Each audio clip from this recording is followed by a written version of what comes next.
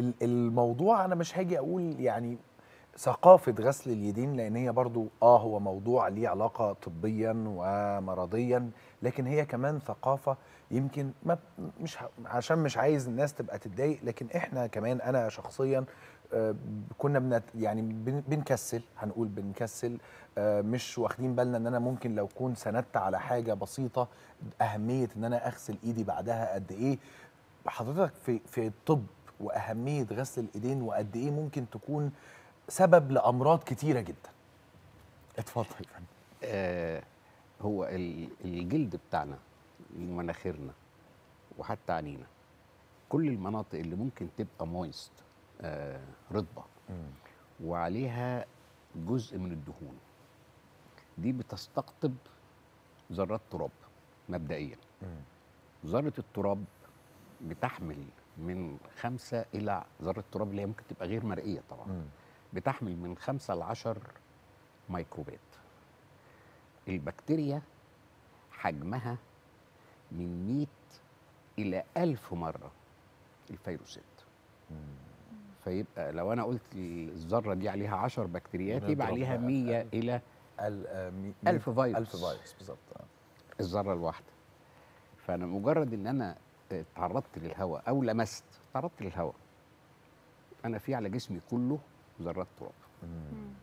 كله. بصرف النظر بقى هو إيدين هو راس. أكتر حاجة على فكرة بتشيل تراب المناخير لأنها مويست والشعر والجسم كله. هي المشكلة في الإيدين إن إحنا بنحركها وناكل في ونشرب الأكل. ونمسك ونمسح مناخيرنا. غصب آه. عننا ونحط إيدينا على وشنا. هي دي المشكلة. وبالذات في الإيدين بقى المناطق اللي فيها الثنايا يعني المناطق اللي فيها التجعيدات.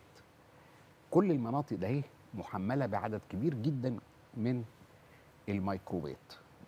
وأنا فاكر من زمان أو مثلا حوالي 20 25 دكتور زميلنا جرب آه، يغسل إيده مش يغسل يعني يجيب فولنتيرز متطوعين يغسلوا إيديهم بأنواع مختلفة من الصابون وياخد عينة من الإيد قبل ما يعمل التجربة. وبعد. وبعد التجربة. وبعد التجربة بساعة. وبعد التجربة بساعتين. وبعد التجربة بثلاث ساعات. بعد التجربة بثلاث ساعات رجع تاني. عدد الميكروبات اللي موجودة على الإيد كما كانت قبل ما يغسل. هو كان بيجرب بقى صابون ديتول وصابون ليزول أنواع مختلفة أنواع من الصابون. فعلا عدد البكتيريا رجع كما كان. بالرغم إن الشخص دوت ما لمسش حاجة ملوثة. زي ما حضرتك قلت من الهواء بقى. من الهواء من التراب. التراب الجو على فكرة اللي عايز يعرف قد إيه في تراب في الهواء لو هو قاعد في أوضة ضلمة وفتح الشيش الصبح وشنكله وشاف شعاع الشمس اللي داخل. لو يقدر يعد عدد ذرات التراب اللي شافها دي أديله 100 مليون. لا وأمهات البيوت اللي بيلاقوا المكان. على الأرض. آه, آه. يعني موجود. أمهات البيوت آه هي ام البيت طب دكتور أنا يعني مع ظاهرة كورونا لما انتشرت وكان ظهر ان هو نرش الكحول والكلام ده آه، أنا لما برش الكحول وباجي بعديها مثلا بشوية أغسل إيدي بلاقي إيد المية اللي نازلة مش نظيفة فمعنى كده إن الكحول ده ما بينضفش الإيد؟ لا هي فكرة الكحول أو المية بصابون. في عدد كبير من الفيروسات نوعين آه، نوع آه، بيحيط بيه غشاء دهني ونوع ما عندوش غشاء دهني ال- الفيروس دايما عنده حاجة بيميز بيها الخلايا بتاعتنا. يعني فيروس الكورونا كل الناس شافت شكله على التلفزيون كورة. وطالع وطالع منها شوك, شوك بالظبط. spikes اللي هو ال S protein أو ال surface protein ال surface protein ده هو اللي بيميز الخلايا بتاعتنا. لو الفيروس ده محاط بغشاء دهني يقولوا عليه enveloped فيبقى ال spike ده مغلف يعني. طالع من الغشاء الدهني.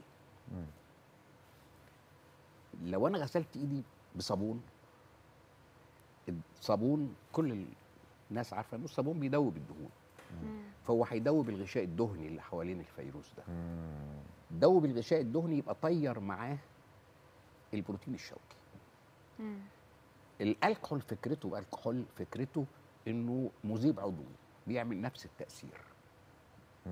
يعني نفس تأثير الصابون بس أنا أنا شخصيا أعتقد إنه الصابون أقوى في ازاله الغشاء الدهني اللي حوالين وشفنا في ال- الإرشادات أو الحاجات ال- ال- الوقاية الاسترشادية الخاصة بفيروس كورونا غسل اليدين بالصابون هي قبل أصلا استخدام الكحوليات. آه. مم. فهي الفكرة كلها لو أنا متوفر عندي إن أنا أغسل إيدي يعني لو واحد بيتوضى بالمرة يغسل ايديه بس هو فكره غسيل الإيدين مش أنا اغسل إيدي كده دي مش كفاية. يعني هو في طريقة محددة لغسل الايدين لأن أنا عايز حضرتك قلت في في الثنايا اللي موجودة آه. جوه فمحتاجة طريقة معينة لغسل وبالذات الحتت يعني لما اعمل ايدي كده أصبحت الحتت دي فيها تجاعيد.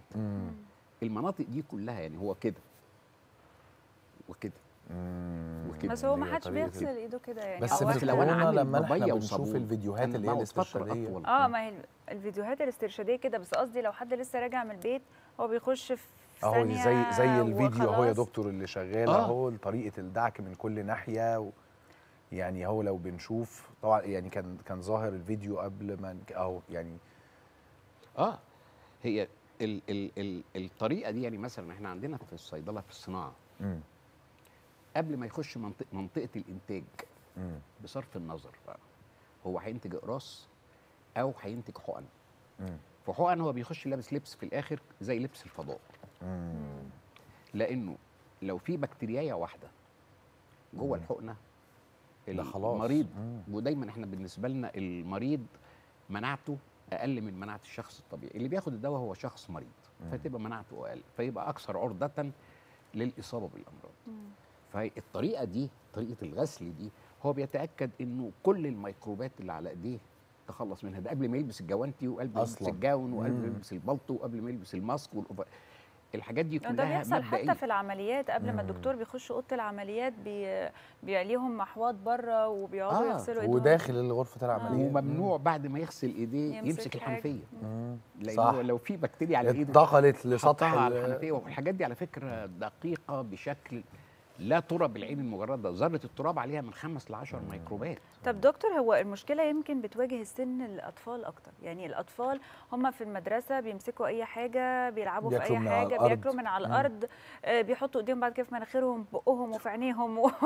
يعني هم عشوائيين جدا فازاي هتبقى في سيطرة؟ يعني لو الطفل أنا أقول ع- يعني أنا سهل بالنسبة لي إن أنا أعلمها أو أعلمه كل شوية رش كحول على إن هو يروح يغسل إيدك لأن الغسيل إيده يروح للحمام. فلو هو رش كحول ده كده هو في, ح... في safe zone يعني في أمان ولا؟ يعني الكحول بيعمل ت- نفس تأثير ال- الصابون لأن زي ما قلت هو مذيب عضوي. وبعدين معظم الميكروبات يعني إحنا كنا بنتكلم على الكورونا اللي هي كوفيد 19 مم. لا الكورونا موجودة من قبل كوفيد 19 في أربع فيروسات كورونا بس ما هماش كوفيد الكوفيد هو تطور أو مم. طفرة من طفرات الكورونا آه 50% من حالات يعني واحد يقول لك أنا مناخيري ثابت صح وفقد حاسة الشم. ده كورونا عادية ومش محتاجة إنه هو يب- يعني يقعد في البيت بس مم. ولكن ال 50% من حالات نزلات البرد أو الرشح ده مش الانفلونزا.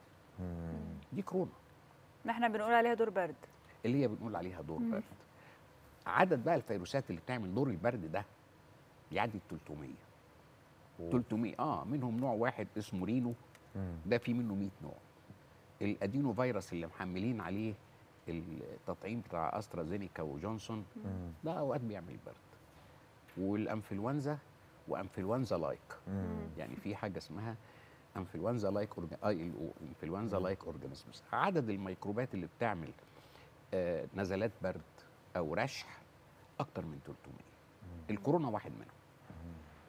ودول موجودين ولن يختفوا لسبب بسيط جدا إن عدد سلالاتهم كتير قوي. مم. الحاجة التانية المهمة إنه الوقاية من كل أمراض الجهاز التنفسي الفيروسات بالذات بتعتمد على إن جسمي يعمل أجسام مضادة مخاطية. في أجسام مضادة بتطلع في الدم. ولكن في أجسام مضادة بتطلع على الأغشية المخاطية. الأغشية المخاطية اللي هي أساسا الحلق والرئة والأمعاء والجهاز البولي. النوع ده من الأجسام المخاطية الأجسام المضادة ده عمره قصير. وتركيزه قليل. عشان كده أنا من زمان قوي قوي هيكون في جرعة منشطة. وطالما كورونا لم يختفي أو بلاش نقول كورونا نقول كوفيد 19 كوفيد 19 بقى. لم يختفي هنقعد نطعم تاخده على الأقل مرة كل سنة زي تطعيم الأنفلونزا. انفلونزا ولكن هو الفرق بين الأنفلونزا كورونا. والكورونا إنه السلالات بتاعة الأنفلونزا كتير. مم. يعني لما معظم الناس اللي بتسافر عمرة أو مم. حج بيرجع عنده دور برد. ودور برد قاتل. قاتل.